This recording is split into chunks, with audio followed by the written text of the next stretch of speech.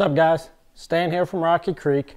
Welcome back into the kitchen. So we're gonna be getting some work done in here because it has been raining like day after day after day and it is a muddy mess outside. What you bringing buddy? Sorry, little man here. He must saw me recording. He got something he want to show you. The purple dinosaur? Huh? Guys, it's hard to believe.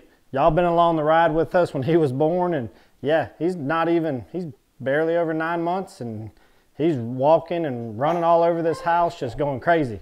But nonetheless, we're here in the kitchen and we are officially into spring.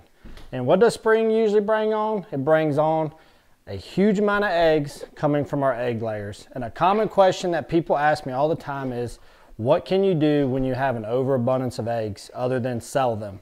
And one of my favorite snacks to have on hot summer days is none other than pickled eggs. Now for a lot of people, pickled eggs is like love or hate. I absolutely love them. My wife, she tolerates them. Other people, they don't want nothing to do with them. But I like mine very simple and very traditional. And it takes just a couple ingredients and a little bit of time. And I'm gonna show you right now what I do. It's nothing fancy, no frills, no tricks. But I'm surprised at how many people have never had a pickled egg. And if you've never had a pickled egg and you have an abundance, I recommend you try this because it is super easy and I think they're super delicious. So let me show you what you need and let's get to it. So the only stuff that you need is I'm going to use one dozen eggs. Now if you have farm fresh eggs, the older eggs that you have, the better because they tend to peel a little bit easier. You need one can of, I like to get sliced beets. You can get whole beets, whatever you want. I like mine sliced because I almost like those just as much as the eggs once we get them jarred up. I need some sugar and I need either cider vinegar or just white vinegar, whichever one you want. I just use whatever I have on hand and I'm gonna go ahead and do the apple cider vinegar in this batch. And then I just need some kind of jars to put them in to keep them refrigerated once I'm all said and done. So let's jump into it. First off, we gotta get the eggs boiled into hard boiled eggs. So let's go.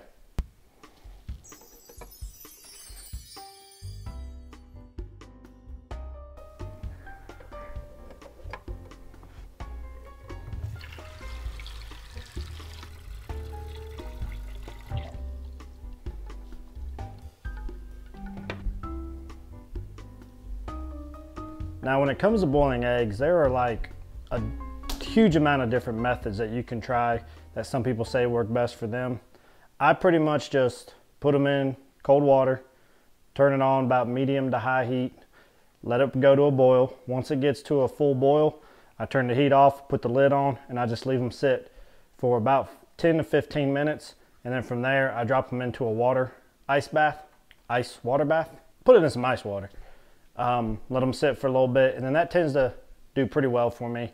Um, if you have any other suggestions or tips or tricks on how to, to make it work better, I know I've read like put baking soda in and diff different things like that.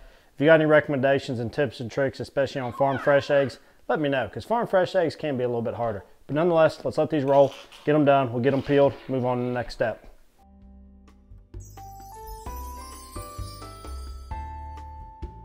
All right, now that these are boiling, I turn them off, I cover them up and get them off the heat. Once I get them off the heat, now I'm just gonna let them sit there for about 10 minutes and then we'll move them into their ice bath. What are you doing, buddy? You gonna be good while I finish up this video? You're so into everything. You stress your mama and daddy out. What are you doing? He's like, oh, put me on the camera, dad. All right, now that about 10 minutes has passed, they've been sitting in the boiling water with the lid on. Go ahead and drop them in. I like to do them one at a time using a slotted spoon. Add in as little of the hot water from the pot as possible, therefore allowing that water to stay more cold. And then I'm gonna let these sit in this water bath for about another eight to 10 minutes. So it's only been a couple minutes. I tend to get impatient when I do this. But you can see it still works. You can see how easy those eggs peel right there. And these aren't no store-bought eggs, which are typically much more difficult to peel. So this is actually working out.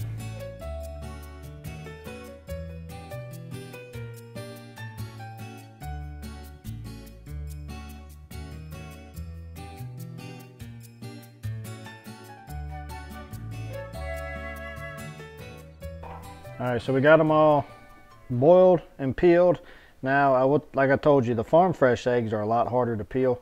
Um, so if you got any recommendation on how to get farm fresh ones to peel fine, uh, we appreciate that. Um, send them my way so I can put it to use. When I use store-bought ones, I can get them perfect, but the ones that come out of our yard, it just never works out too well. So, but anyways, it doesn't matter. They're still going to taste good. So let's get these dropped in jars, and then we'll start making the pickling sauce or juice. So these, I don't know. I usually, of course, I get ball canning jars, but I found these Kilner jars at some local stores for would they have the little lock and little gasket to keep air out and keep stuff fresh. And I found for items like this for pickling, these actually work really, really well. So we'll just drop the eggs down in here. Now we're gonna knock out our pickling liquid, which is super easy. It's one cup of everything that's involved. So you're gonna have one cup of sugar, one cup of vinegar,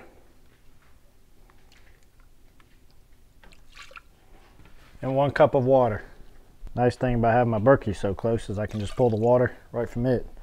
So it's one cup of everything and then instead of one cup it's just going to be one jar of whatever beets of your choice that you decide to use.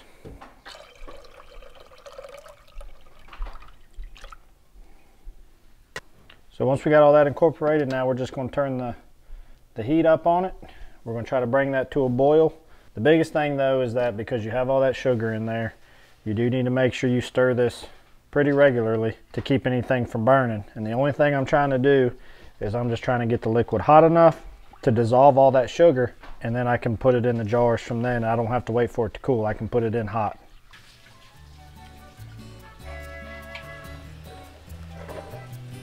You can see it's at a good boil. So that's usually when I know I'm good to go. I'm gonna go ahead and cut off the heat and we'll get ready to jar it up. All right, so we got all the eggs in the jar. The liquid is ready. Now, I'm gonna use my funnel. If you're confident enough and you can just pick this up and pour it in there, hey, power to you. But I just, I tried it one time and it ended terribly. So now I just use my ladle and try to ladle it in. And usually the beets are soft enough that they can still go through even if they're bigger than the hole than what's in the actual funnel. The biggest thing though is I just want to make sure that this completely covers all of the eggs so that way they stay pickled, which also helps not only make sure that they get all the flavor, but also make sure that the eggs actually stay preserved for a longer period of time than if you just boiled eggs like normal. Now this isn't like normal canning where I got to worry about headspace and all that. The biggest thing is that I just want to make sure that the eggs are completely submerged. If that's the case, then you're going to be good to go is I just give it a little bit of a wiggle. Unless, you know, some people add a little bit of beets at a time, a little bit of egg at a time. I just kind of give them a little move around and make sure that everything gets completely coated. Now what we're gonna do is we're just gonna go ahead. I'm gonna let this cool down a little bit at room temperature. And then after about a half hour or so, I'm gonna place it in the refrigerator. And then the longer you let it sit, the more flavor and the more color they're gonna change. And they're gonna become in this very pretty purple. So we're gonna put it in the fridge I'll usually let them go for about three days before I start eating them. And I'll let you see what the finished product looks like. 72 hours later. All right, guys, so it's been three days now. We've had the pickled eggs going, um, soaking in everything in the beets. And we'll pull one out and let you see what it looks like three days later. Now, you can let these go as little or as much time as you would like. And the longer they're in here, the more the flavor intensifies. So I'm gonna go ahead and pull out a beet and then let me get an egg right here. Look at that beautiful color, purple on that egg. That's what you wanna see. Three days later, you want that purple soaking to be all the way down into that yolk. That is a good looking pickled egg. Let's give it a taste.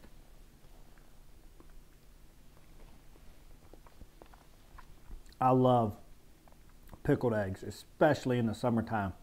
I could be out working in the garden and it's a hot, hot day. You know, when it's really hot, you're not really hungry, but you still need to eat. It's important. So usually around lunchtime, these are great lunchtime snack. They're cold out the fridge, along with some of the beets. I have me a big glass of water, along with hey, two or three of these, a couple beets, just a light lunch. But this gives you a lot of protein The sugar's in it, gives you a little bit of jolt in your energy, and it ends up working out really good. So it's a good summertime snack if you're busy in the garden. But these pickled eggs, I absolutely love them. The beets, they end up being super sweet like candy. Oh, so good. So now I mentioned though that I really like these in the summer after I'm working in the garden. That's one of my favorite times and ways to eat them. My other favorite way to eat these pickled eggs, and actually my wife, who isn't a huge fan of pickled eggs to eat solo, one of her favorite things, and she actually really likes, is to cut them up um, into circles straight down and to put on salads. You put pickled eggs in a salad, especially with like a, I like it with like a raspberry vinaigrette dressing or some kind of a, a vinaigrette, I think is fantastic. It's dynamite. Um, but the great thing, guys, is this is super versatile. Sometimes I'll add onions to it and let those onions pickled in the juice, and those are really good on sandwiches um, or to eat regular. But the great thing about pickled eggs is it's endless opportunities and creative ways of which you can make it. Some people make them spicy. I like my favorite, no matter how many variations I've tried, have been this very standard, sort of sweet and tangy, basic combination of the beets, the beet juice, the sugar, and the vinegar. I've tried to get fancy, and, and they were good, but at the end of the day, this is my favorite recipe. And as we're heading into time where a lot of you have extra eggs or may have never tried pickled eggs, I think this is a good way for you to use up some of your eggs and to try something new. So, guys, give it a try. If you've never had them, I suggest you try them. These are a little more on the sweet side, but I absolutely love them. I hope you all will enjoy them too.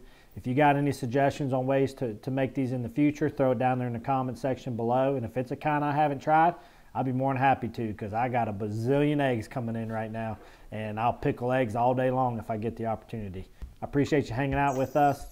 Hope y'all enjoy this, and y'all have a wonderful day. And until then, we'll see you here real soon on the next episode. Y'all be good. Go, go.